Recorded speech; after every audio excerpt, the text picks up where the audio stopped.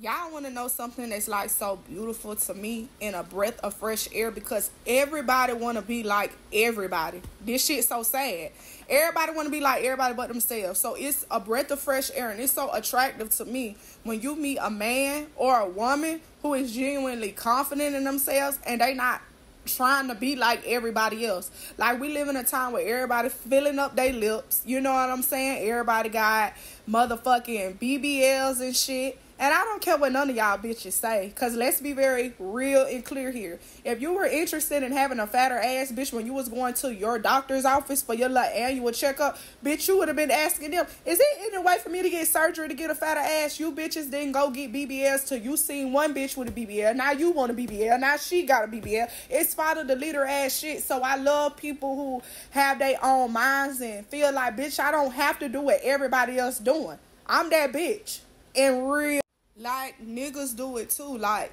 y'all can get y'all ass on Instagram and get the scrolling, and a nigga look like he got some money or he scamming or something. Now here you go, deep throat, ready to suck that dick.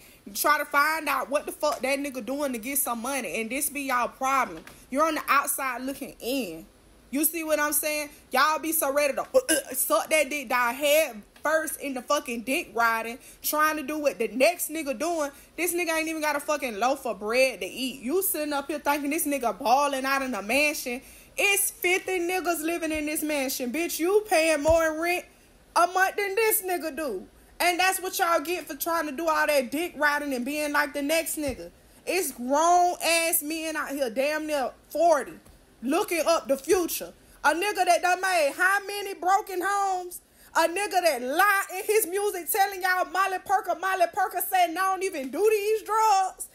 Niggas really like y'all mad at Ciara.